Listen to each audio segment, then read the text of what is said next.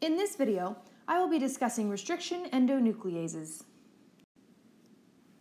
Restriction endonucleases, also called restriction enzymes, are enzymes that cleave DNA at specific sequences. These enzymes are particularly valuable in a lab setting because they allow scientists to cut, isolate, and manipulate DNA segments of interest. Restriction enzymes are naturally found in bacterial cells. These cells use their restriction enzymes to cut apart DNA that has been injected into them by viruses. Cutting up the viral DNA prevents the virus from successfully reproducing within the bacterial cell. The key is for the restriction enzymes in the bacterial cell to recognize sites that are only found in viral DNA and not found in the bacterial DNA. The bacteria wouldn't want its own DNA to be cleaved by restriction enzymes.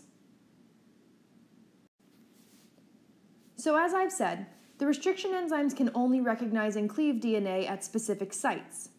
This site is called a restriction site, which is often 4 to 12 bases in length.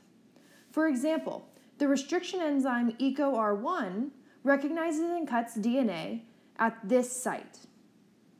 It will scan the DNA and when it finds the site GAATTC, it will cleave it like this. You'll notice that this cut does not go straight through the two strands. Instead, it creates what is called sticky ends, where these four bases are left without their complementary partner. Having sticky ends makes it easy to attach other DNA molecules that have been cut by the same restriction enzyme together. So we can see here that this molecule has two restriction sites. It will get cleaved in these sites by the restriction enzyme, and now we have three separate molecules of DNA. This second molecule of DNA has had a substitution mutation in the second restriction site. This means that the restriction enzyme would not cleave this molecule here.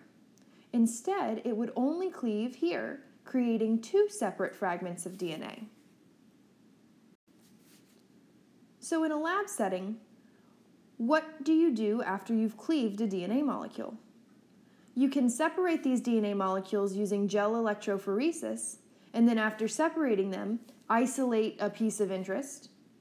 You can take this DNA piece of interest that you've isolated and insert it into a plasmid that's been cut by the same restriction enzyme, and then you can insert this plasmid into a cell to transform bacterial cells.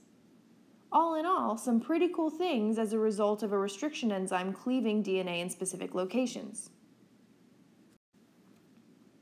If you're interested in learning more about what happens in a lab after you use restriction enzymes, check out my video on gel electrophoresis or my video on transformation.